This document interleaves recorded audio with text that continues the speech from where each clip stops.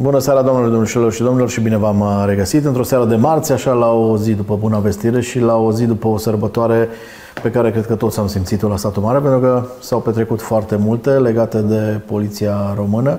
Se leagă sărbătoarea Buna Vestire de uh, poliția română și de fiecare dată pe 25 martie le spunem la mulți ani prietenilor noștri din poliție, că ne mai supără ei cu câte o amendă așa de circulație din când în când, dar sunt ca rău necesar. Și Gazeta de Nord-Vest astăzi pe prima pagină la mulți ani Poliției Române și uh, o pagină întreagă dedicată evenimentelor pe care le-am avut la satul mare, de la slujba la biserică până la bucuria copiilor care au putut pe platoul din centru nou să vadă cam uh, tot ce înseamnă uh, poliție, de la circulație până la criminalistică și la multe altele din domeniile poliției uh, sădmarene. Alături de mine, ca și anul trecut, că am văzut Facebook-ul, mi-a dat amintire că și anul trecut, pe vremea asta, eram alături de doamna comisar șef de poliție, Felicia Hrihorișan. Bine ați venit, să rămână la mulți ani!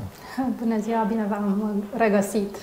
Da, așa pică întotdeauna, uh, de fiecare dată când am o rugăminte către conducerea inspectoratului, deja știu, du-te spre Felicia și uh, faceți o emisiune frumoasă. Mulțumesc conducerii inspectoratului și cred că oarecum e și pentru noi important că lumea acolo are încredere și că sunteți așa o imagine bună a inspectoratului de poliție județului Satu Mare. Mulțumesc și eu pentru încredere și invitație. Cred că ne știm de ceva ani și eu mi-aduc aminte că primul purtător de cuvânt de la poliție cu care am lucrat a fost Dan Moista. El între timp s-a pensionat de, s-a pensionat de mult.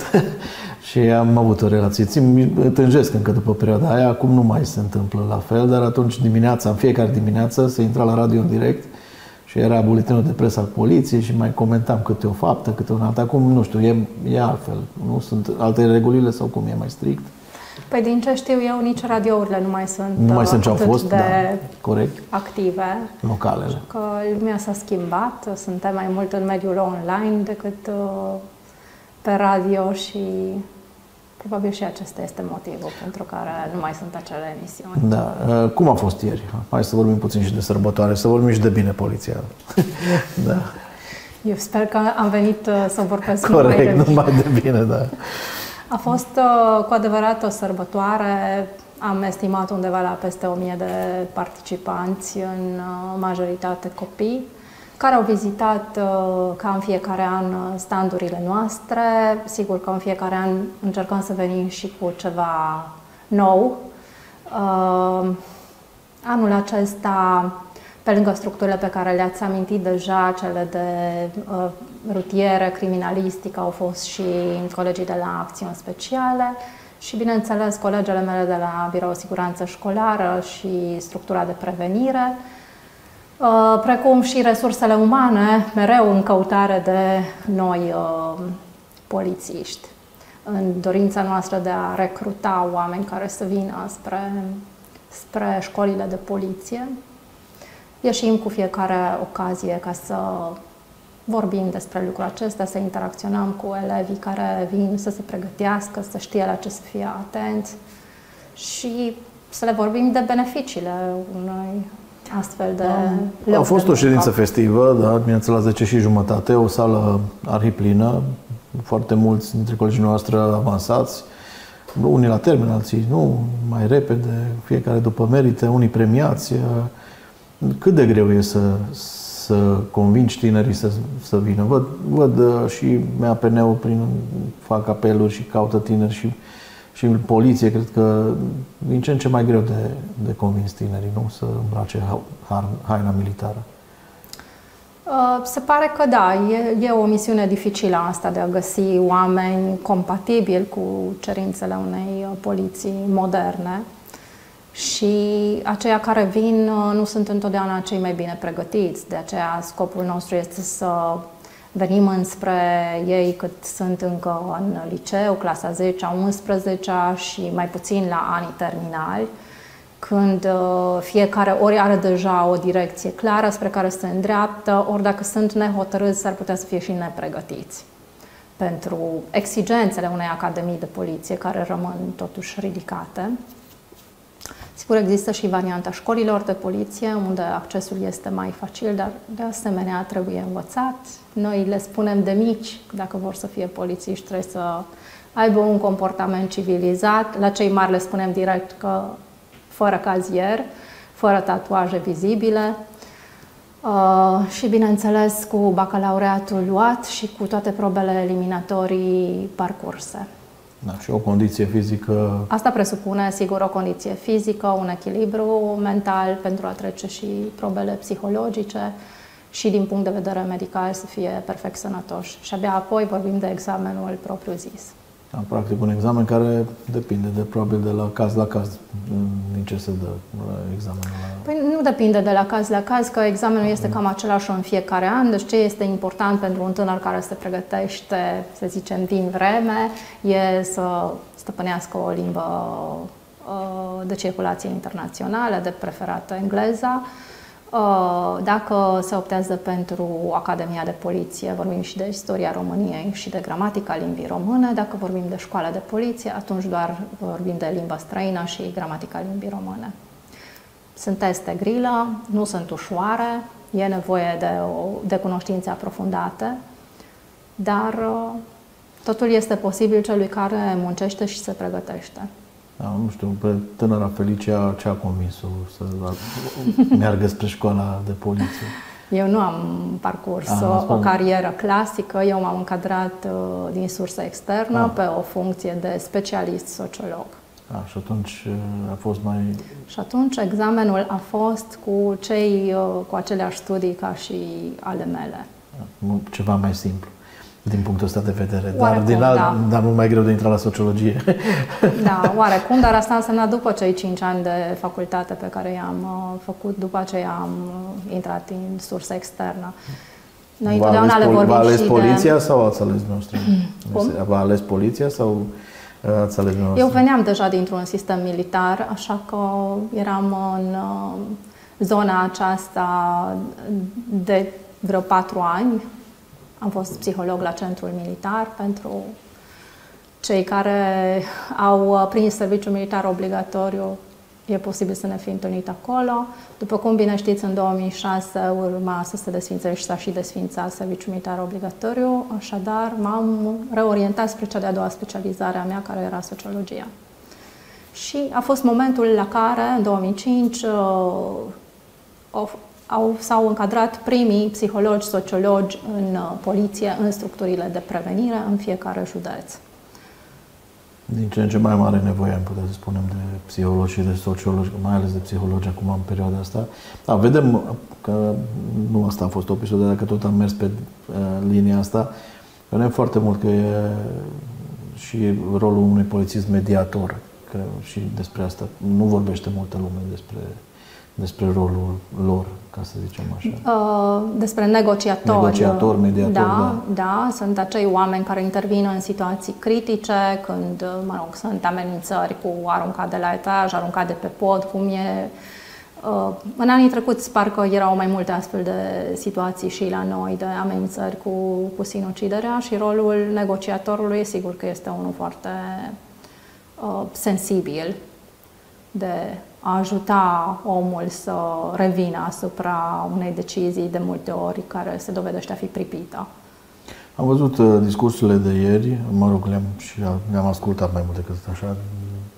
Am văzut pe cei care au uh, oficialitățile care au rostit discursuri și uh, majoritatea apreciau faptul că județul Satu Mare e un, uh, unul sigur. Adică avem cât de cât siguranța că nu ni se întâmplă la colț de stradă ceva rău neașteptat. Uh, și lucrurile astea s-au văzut așa de la an la an. Cum simțiți din interior lucrurile astea? Pentru că noi, de, din afară, sincer, totdeauna ne place să ne lăudăm cu, cu lucrul ăsta, că la satul mare uh, trăim așa într-o, să spunem așa, într-o atmosferă cât de cât uh, calmă și liniștită.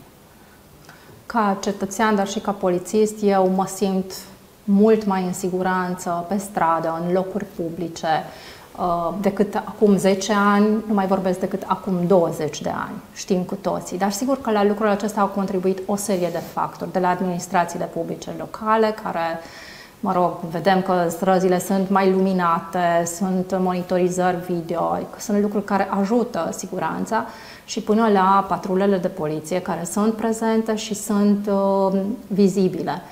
Uh, cumva, atenția acum, sigur, trece dincolo de aceste infracțiuni uh, la vedere, să spunem, și se îndreaptă spre infracțiuni care nu se comit la lumina zilei sau în... Acum ne place nouă să spunem noaptea ca hoții, știi? Exact, noaptea ca hoții. Este și discursul pe care noi îl adoptăm în uh, întâlnirile cu elevii. Faptul că am fost uh, învățați, dacă vreți, pregătiți de mici să ne apărăm de omul negru de la colțul străzii care ar putea să ne dea Un negru, adică negru, ca să nu se interpreteze, care poate avea o cagulă sau cine nu știu ce. Care poate să fie oricine, un da. necunoscut. Da. De fapt, asta era ideea, persoane da. necunoscute care intră cu noi în vorbă și care, cine știe, ne pun ceva în băutură. Ori uh, acum trebuie să conștientizăm că atenția trebuie un pic mutată, că uneori acel om negru în uh, ghilimele poate să fie prietenul nostru sau cineva din anturajul nostru. Și când vorbim de tineri, acolo trebuie să avem focusul, uh, nu spre persoane necunoscute care vor să-i facă ceva copilului nostru, ci pe felul în care își alege prietenii, anturajul și nimeni nu este nevinovat. Când da. vorbim de un grup de prieteni, toți sunt părtași la o să ce se întâmplă acolo. O să care îi pas pe tineri, pentru că am participat și la mai multe conferințe și întâlniri pe care le-ați avut și la care ați fost și dumneavoastră prezenți. Uh, cei de la poliție legate de pericolele care pas pe tineri, dar m-aș opri puțin vreo două, trei minute și la pericolele care ne pasc și pe noi, adulții, și care vin acum mai mult din spre șmecheriile astea online, de care foarte puțină lume vorbește. Foarte mulți s-au trezit cu bani luați din cont sau prin atenție cu conturile sparte, că sunt bancare sau de rețele sociale sau așa mai departe. Există ceva ce poate să facă poliția din punctul ăsta de vedere și un fel de poliție online se poate merge spre partea asta? Da, există polițiști care cu asta se ocupă, cu criminalitatea informatică. Ei fac parte din serviciul de uh, combatere a criminalității organizate. Uh, dar vorbim și de acele mici uh, infracțiuni, să spunem, înșelăciuni sau furt de identitate, cu sau fără un scop patrimonial. Uneori scopul sunt banii, alte ori uh, scopurile sunt pur și simplu să fim denigrați sau șantajați. Uh, vorbim tot mai des de șantaj emoțional, de fete, femei care intră în uh, legătură cu um, diversi bărbați cunoscuți doar în mediul online și care se folosesc de farmecul cuvintelor astfel încât câștigă încrederea victimei și o determină cumva să contribuie la bunăstarea lui financiară. Și aici este greu de vorbit de o infracțiune, câtă vreme nici victima nu se recunoaște ca atare, face lucrurile acestea de bunăvoie și de multe ori cei din anturajul ei, mai ales când vorbim de fete tinere, sunt cele care se sizează că dispar bani, că se duc banii, nu se știe unde uh, și nu victima în sine, nu, nu realizează că de fapt este extorcat. Se pot face plângeri, adică pot să, dacă mi se întâmplă lucrul ăsta, sau sunt înșelat pe nu știu, pe Facebook. Da, dar pentru asta trebuie să te consideri înșelat, să te consideri o victimă. Câtă vreme tu accepti să faci lucrul acesta... Da, faci de bunăvoie, cam... Da, este greu ca altcineva din anturajul tău să sesizeze ceva ce ție ți se întâmplă. Sigur, dacă nu vorbim de alte lucruri, de furt sau alte mijloace de a face rost de bani pentru a întreține o așa zisă relație la distanță care necesită bani. Da, sunt foarte multe. Acum trebuie să fim atenți la, la tot ce se întâmplă în jurul nostru și inclusiv când scoți banii de pe card să ai o mare atenție cine e în jurul tău. Sigur, asta întotdeauna a fost și va rămâne valabil să fim atenți cum manipulăm banii, ce fel de coduri PIN ne punem, să nu fie foarte, foarte simple, ce fel de parole, acum mai ales în era aceasta a tehnologiei în care ne este greu să reținem la fiecare cont și uh, la fiecare aplicație un, uh, o altă parolă. Uh, tendința este să simplificăm foarte mult și să punem uh, acolo cuvinte sau date de naștere care sunt foarte ușor de obținut. Îmi amintesc că acum niște ani în urmă a existat un uh, caz în satul mare când un tânăr a spart 1500 de, peste 1500 de adrese de e-mail folosindu-se de date obținute foarte ușor din profilurile publice de Facebook ale persoanelor respective. Adică combinații de data nașterii cu numele copilului sau al animalului de companie și iată ieșea parola. Și, sigur, pasul următor era să, încerc, să încerce să afle informații despre persoanele respective și să vadă unde, de unde poate să găsească anumite uh, secrete care ar merita să fie plătite. Da, interesantă povestea asta. Oricum trebuie avut mare grijă. Mai e și sfatul pe care îl primim totdeauna în perioada vacanțelor, dar acum vacanțele nu mai sunt cele clasice, că noi e doar vacanța de vară, avem și vacanță de schi și vacanță de Paște și școala altfel. Nu vă postați uh, vacanțele pe internet, că ați plecat după, de acasă. După, după ce da. se întâmplă, da, după ce se întâmplă, când revenim, când suntem în siguranță acasă, nu anunțăm înainte întreg universul că urmează să plecăm sau suntem în avion în drum spre nu știu ce destinație exotică, fiindcă, sigur, lucrul acesta atrage atenția Uh, și prietenilor, dar și uh, altor persoane, fiindcă știm cu toții că în mediul online suntem prieteni cu mii de oameni, care la rândul lor prieteni cu alte mii de oameni și nu știm cum informația scapă mult mai ușor decât uh, în era în care nu existau aceste rețele sociale. Da, cu plus și minus pentru rețelele sociale și de asemenea rămâne sfatul pe care îl dați de fiecare dată, nu lăsați la vedere portofel, geantă, laptop uh, sau ceva în mașină, pentru că nu mai recent decât că ieri, ieri sau alte am citit o știre că și la satul mare a fost spart un geam pentru un simplă, nici nu știu, nici n-a fost ceva de valoare, ca să zicem așa, lăsat pe bancheta din spate atenție mare la, și la lucrul ăsta. Așa este. Uneori prejudiciul uh, cel mare este spargerea, Spart, da, da. spargerea geamului, autoturismului, pentru că este ceva ce pare a fi de interes și când colo poate nici nu este așa de mare lucru și noi nu dăm importanță, știind ce este înăuntru, știind că nu avem niciun ban în portofel, de exemplu, ne lăsăm la vedere. Dar hoțul nu are de unde să știe și acționează ca atare, este motivat, atras. La regimul circulației aici nu reușim din păcate, tot timpul uh, ne trezim uh, că avem accidente pe drumurile din județ ce, nu știu, s-au mărit uh, amenziile, punctele, se iau permise din ce în ce mai des și tot nu reușim să scăpăm de, de tragediile astea de pe, de pe șosele. Nu știu, ce ar trebui făcut mai mult sau ce, ce sfaturi primesc colegii noștri de la, de la rutieră? Păi sfatul uh, meu, ca acum revenind în papucii de sociolog, este acela de a lucra la cine suntem noi, la comportamentul nostru și la educație. Fiindcă aceiași oameni care calcă legea aici, în țară, trec uh, granițele țării și știu să se comporte așa cum uh, cer legile țării respective. Așadar, uh, trebuie să lucrăm la cine suntem noi, câtă încredere avem în noi, încredere cu ghilimele de rigoare uh, și să, să vedem dincolo de consecințe.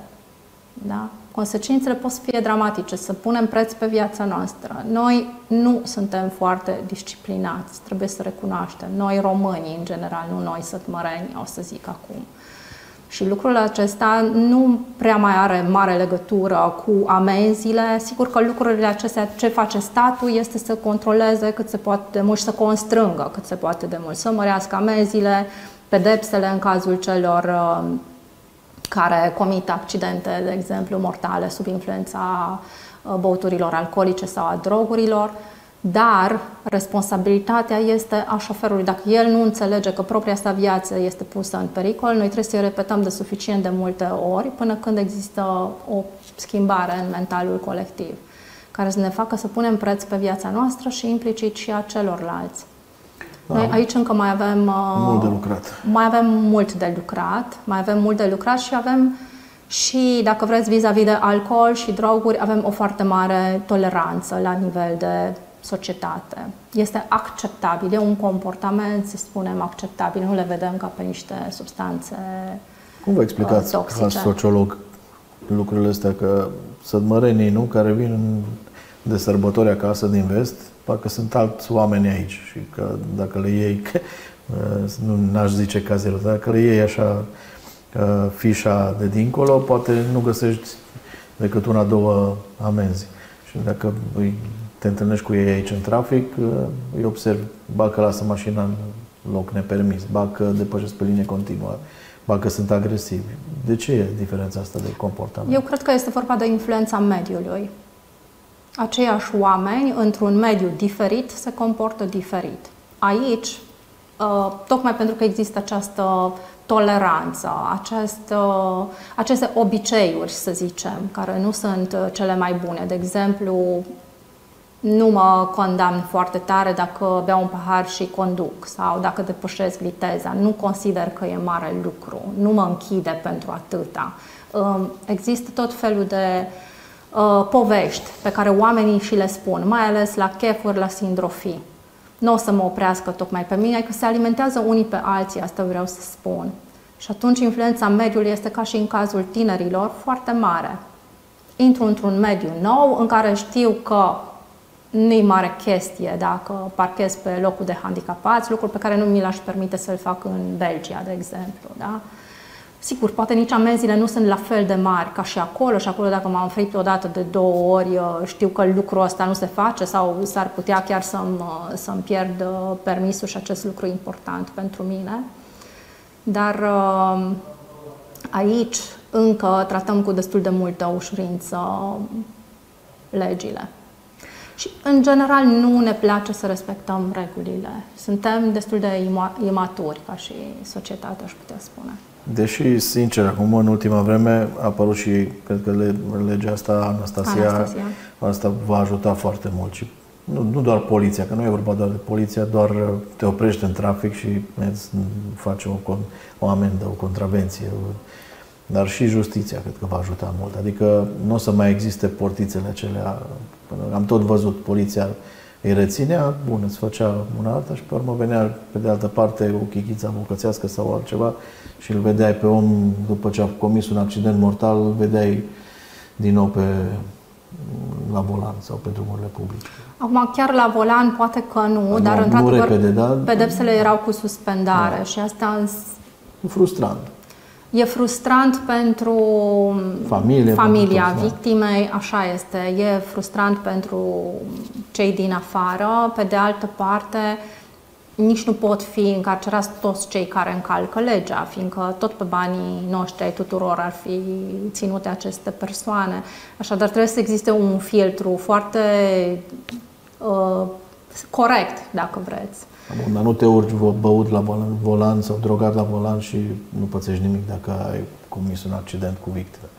Deci asta nu e, nu e normal, nu e firesc. Adică trebuie să conștientizezi că ai greșit flagrant. Experiența mea cu persoane care au comis uh, infracțiuni în contextul consumului de alcool și droguri, mă refer acum la experiență de câțiva ani în care am avut programe cu cei condamnați în libertate și care probabil mulți dintre ei astăzi, dacă ar fi din nou condamnați, ar fi cu executare în baza acestei uh, legi uh, Anastasia.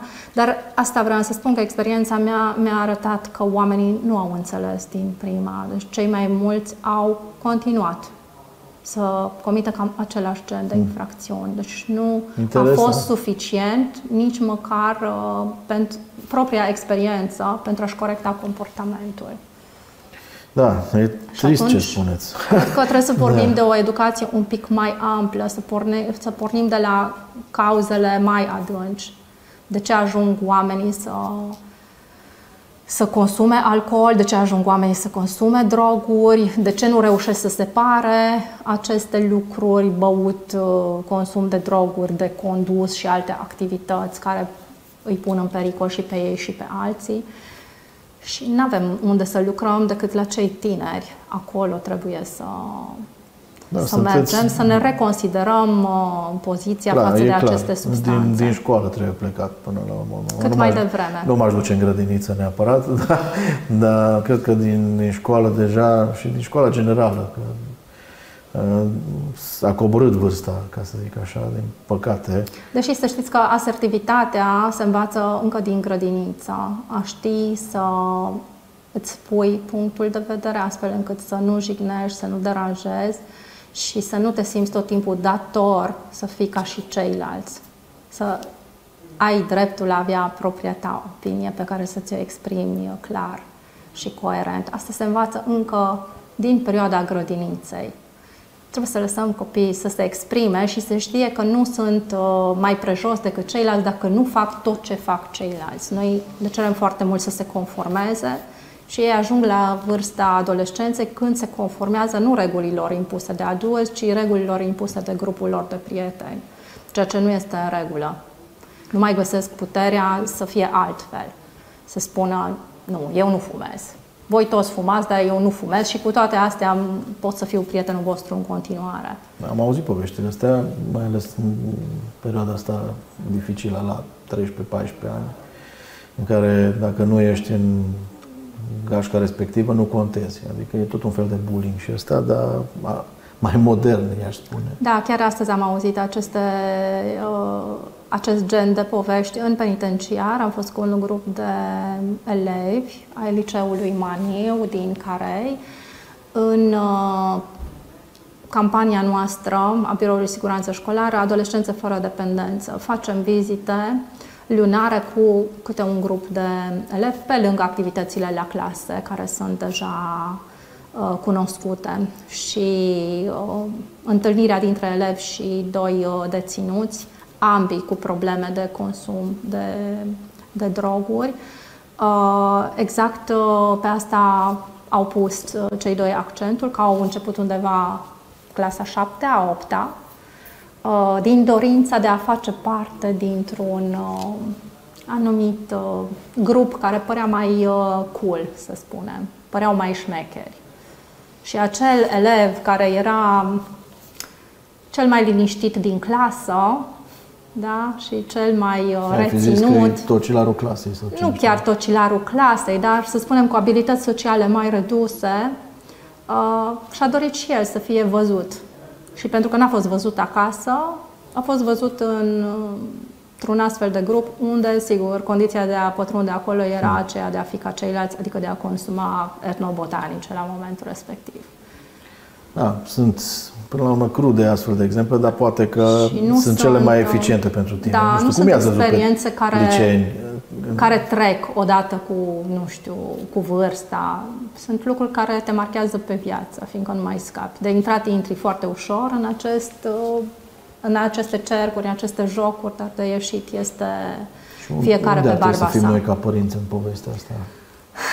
Exact asta am întrebat și eu. Ar fi putut să facă părinții sau școala ceva pentru tine ca să te întoarcă din acest drum al experimentării? Uh, și mi-a zis că da, unul dintre ei mi-a zis da, ar fi putut ca părinții mei să-mi acorde mai multă atenție.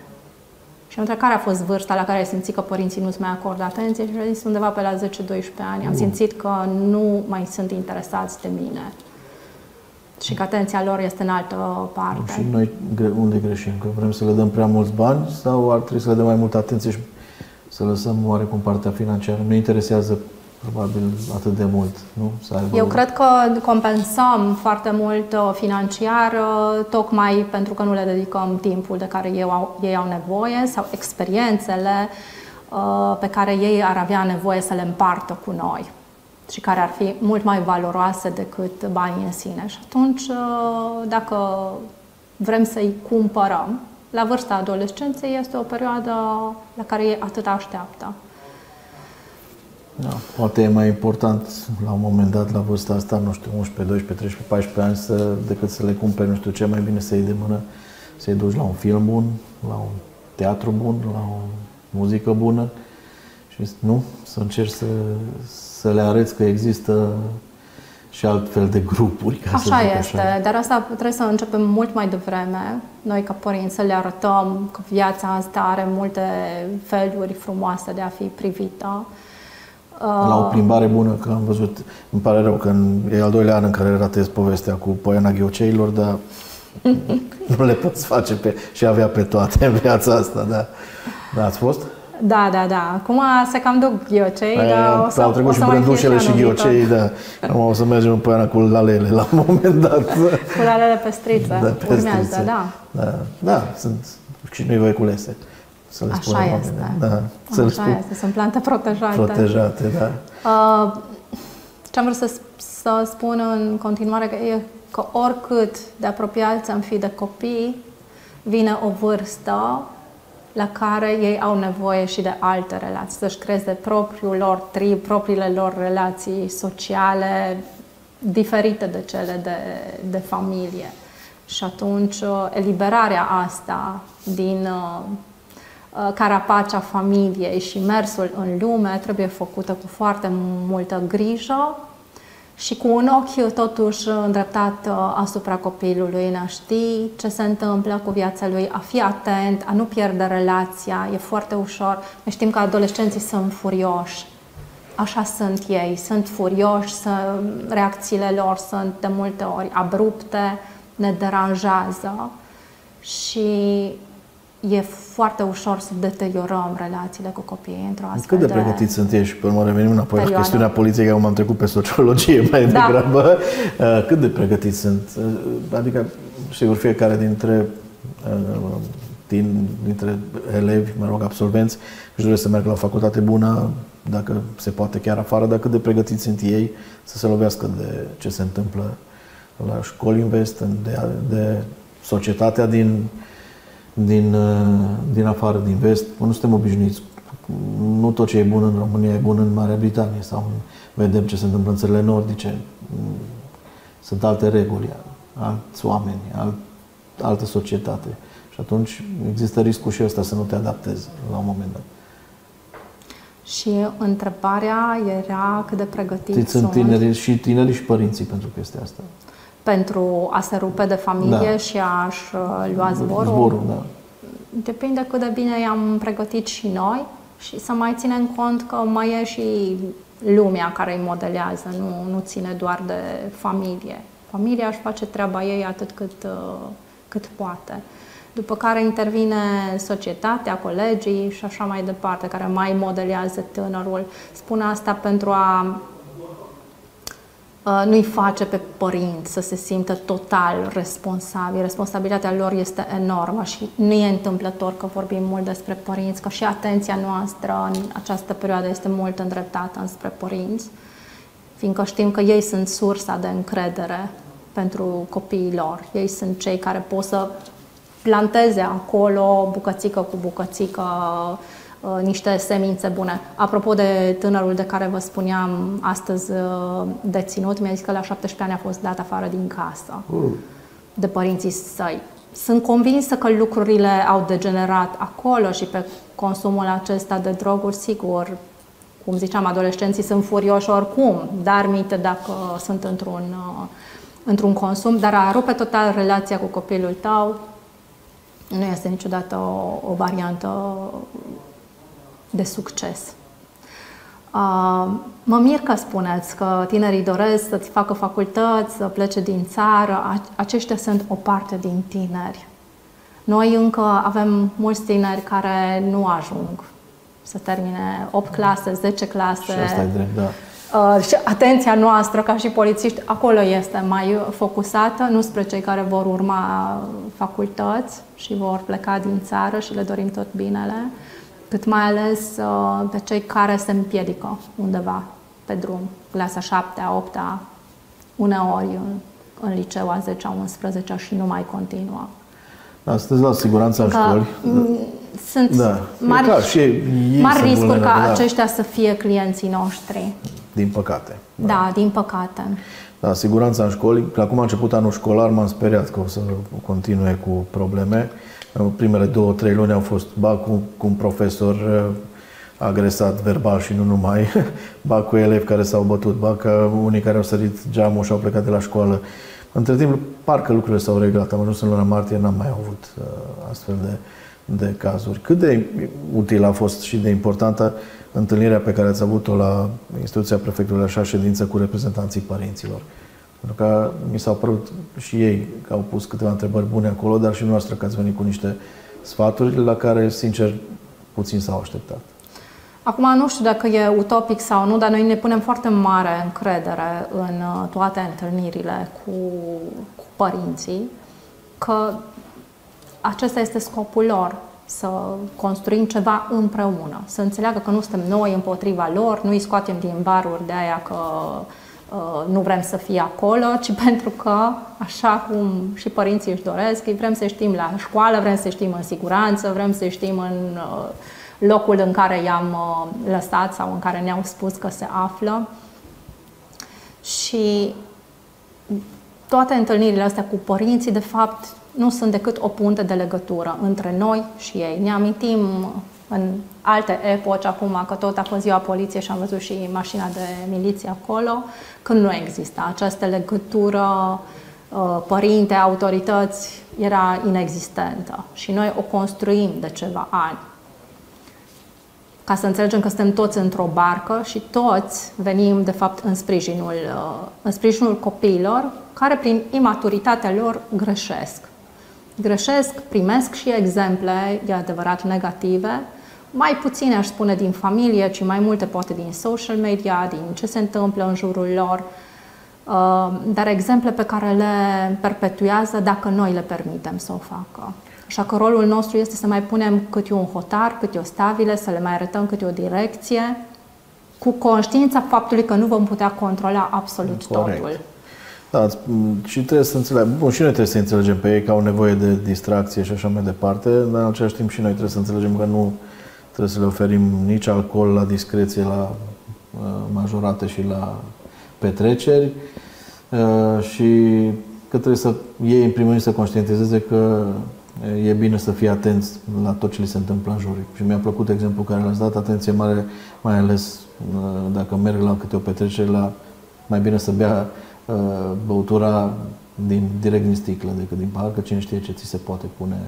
Ăsta e un pericol de care nu multă lume a vorbit.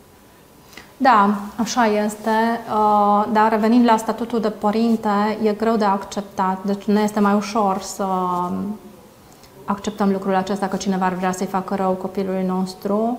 Ce este mai greu de acceptat e că el însuși vrea să-și facă rău. Lucrul acesta este foarte greu de digerat pentru un părinte. Adolescenții noștri știu.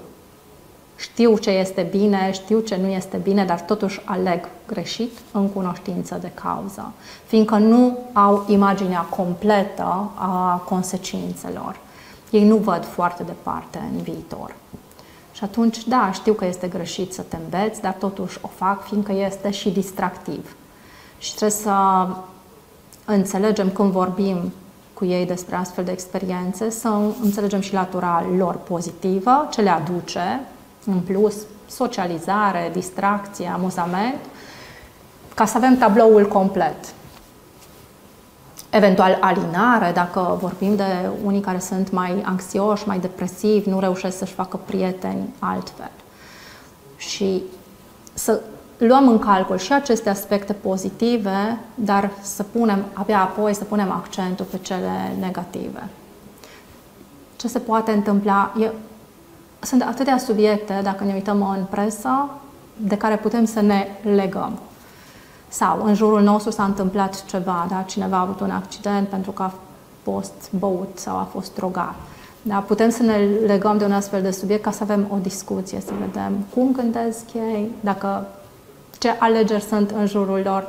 Mai puțin o să vorbească despre propria persoană, cât despre colegii mei, prietenii mei, anumite găști, deci despre ei vorbesc mai ușor despre alții decât despre propria lor persoană.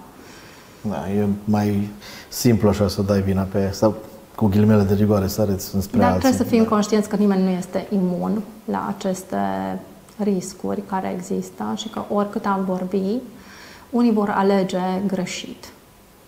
Nu există lumea perfectă, din păcate. Da, de aceea povestea aceasta trebuie spusă în multe feluri.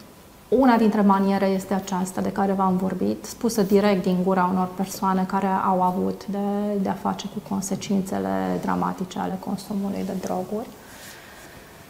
Și, sigur, se poate transmite mesajul și prin artă, prin uh, teatru, piese de teatru, prin filme. Din păcate, trăim într-o lume care promovează foarte mult uh, consumul ca fiind normal. Și consumul de alcool și consumul de droguri, și toate violența, filmele, videoclipurile. Violen, foarte multă da, violență, din păcate. Sunt încărcate de, de violență și de astfel de comportamente.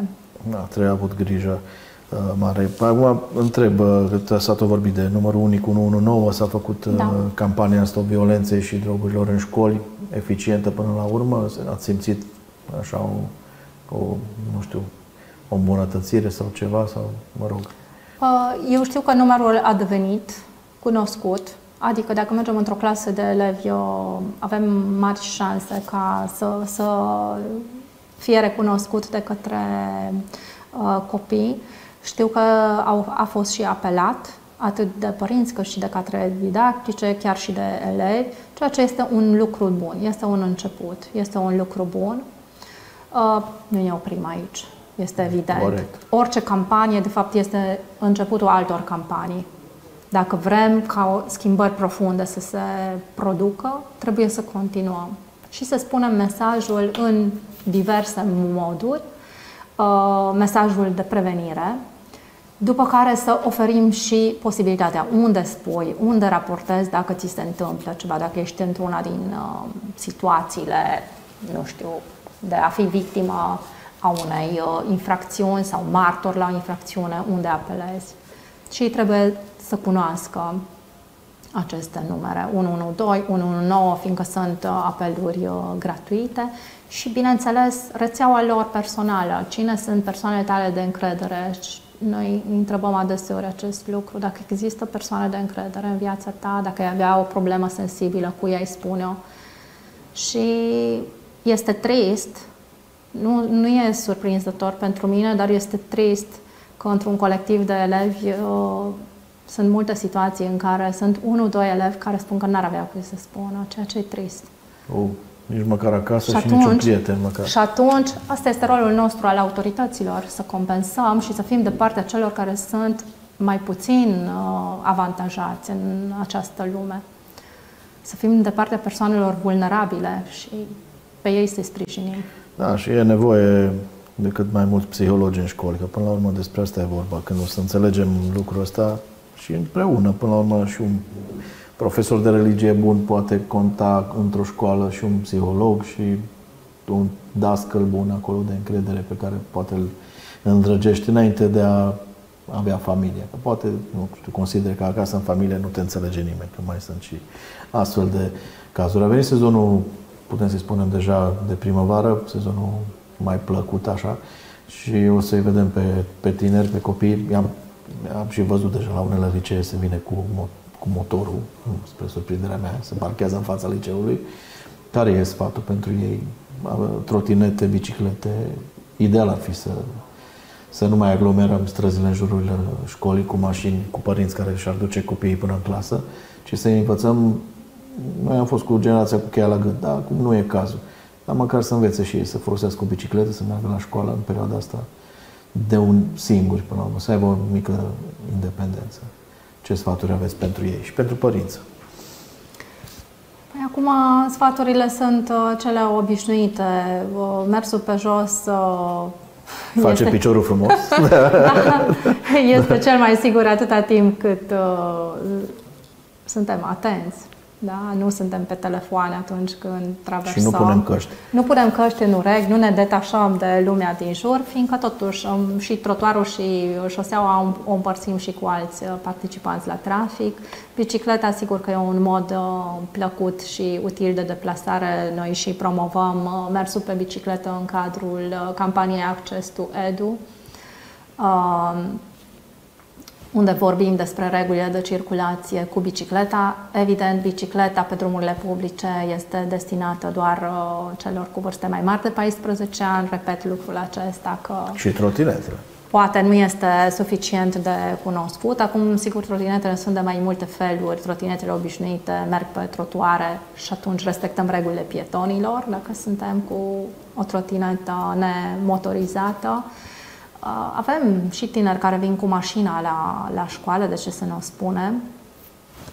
Câte vreme au vârsta legală și Corect. au permis, este dreptul lor de cetățean și al acestei că se încearcă, țări, nu să... e scăderea vârstei de obținere a permisului, Acum nu știu dacă e bine sau nu, dar mă rog, asta e o discuție pe care o să avem probabil într-o da. altă emisiune.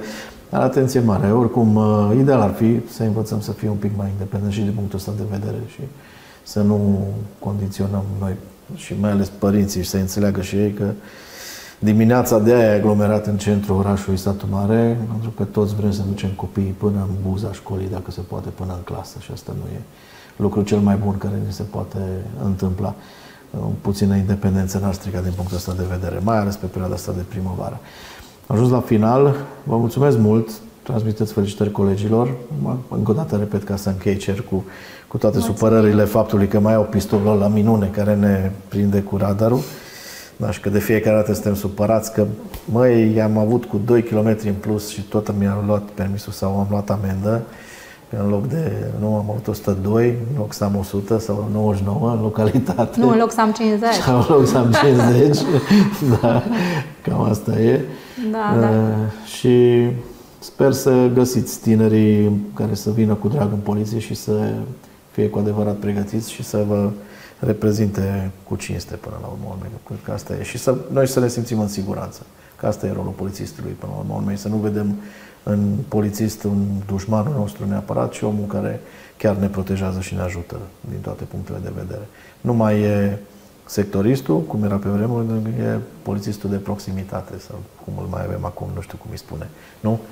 Mai, mai este poliția de proximitate? Sigur mai, că mai este. este. Mulțumesc să... mult, felicitări. Mulțumesc și eu voi transmite și colegilor da. mei. Salutări conducerii și sper să vorbim așa. E utopie ce spun eu, dar să vorbim de un oraș și un județ Satu Mare în care uh, de la an la an uh, infracțiunile de toate felurile să, să fie în scădere. Când faceți bilanțul, să nu aveți ce spune. Sau să ne dați doar uh, vești bune. vești bune și doar povețe, ca să zic așa, doar sfaturi. Mulțumesc încă o dată mult. Ne vedem mâine seară, când o să mergem puțin și la Filarmonică, pentru că e un artist extraordinar la Satu Mare, care să concerteze muzică de Bach, uh, joi de la ora 19, vorba de Remusa Zoiței, un violonist extraordinar. Uh, și vă îndrum să mergeți din nou la Filarmonică. Nu știu ce se întâmplă acolo, dar uh, parcă e așa o frenezie și se aduce mai mereu ceva nou și ceva de suflet. Și sala e mereu plină acolo în ultima perioadă felicitări conducerii de acolo, așa că mâine o să mergem și acolo, dar o să vorbim și puțin și de alegeri, pentru că în prima parte a emisiunii o să avem în studio și pe directorul de cancelare Radu Iancu despre pregătirile pentru alegerile uh, din 9 iunie, pregătiri care se fac la instituția prefectului uh, Satu Mare. Mulțumesc încă o dată foarte mult pentru prezența Mulțumesc în studio. Ne vedem mâine seară, numai bine!